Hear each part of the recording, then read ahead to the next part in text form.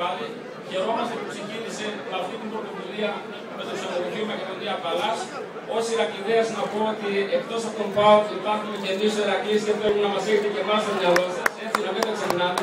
Ακούσατε υπάρχει κατάπτωση όλο Ηρακλήδη και βέβαια και τον Άρη και όλες τις ομάδες.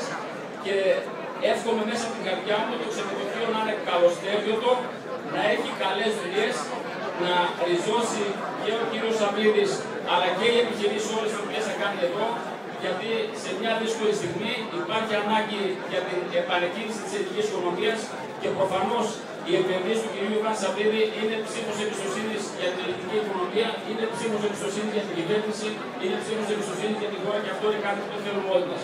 Καλές δουλειές, καλώς ήρθατε και βέβαια με το καλό και σε άλλες πολλές μεγάλες επιχειρήσεις.